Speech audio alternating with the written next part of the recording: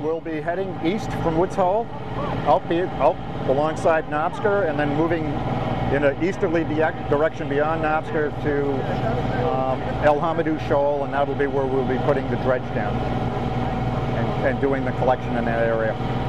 And if everything goes well, plankton net, dredge on the bottom, contents back, and then see what we've got, and at the same time uh, try to be able to describe the, the, organisms and some of their life history, naturalist business, and uh, really cool stuff.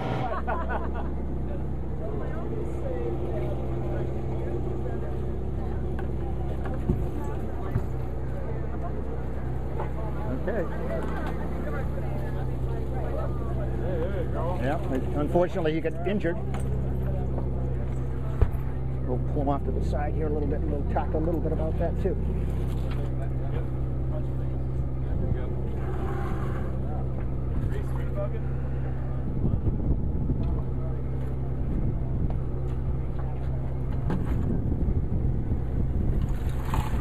Keep an eye out.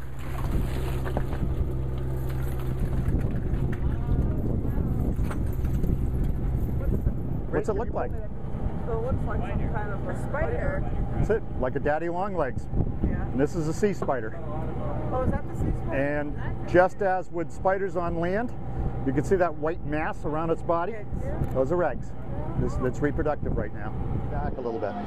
And I pulled this uh, starfish out primarily because it's growing back a couple of new arms. Certainly this one right here. Yeah. And what we have here is the process of regeneration. Yep. And what's special about this and here I've been working at the lab for over 40 years, and scientists have worked with sea stars for years, working usually using their reproductive material and following cell development and cell biology. But way back a number of years ago, they looked at this regeneration, and, they, and they're looking at it again today, but with new eyes, because we have digital technology and techniques today that we didn't have then. Right.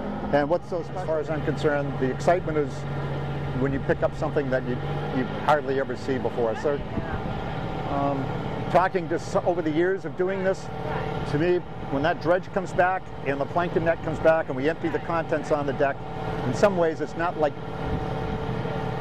or very similar to cracking open a pinata. You know, you know there's goodies in there, but just what kind of goodies are there? So it's, uh, and it's usually pretty exciting. And, and sometimes, I'll be honest with you, what I may I may look at the, the catch and say, gosh, this wasn't a very good catch, but the people around me are like, they've never seen it before. It's like, oh my gosh, if you know what I mean. So it's all relative. It's all relative. Gorgeous, huh? Gorgeous, absolutely gorgeous.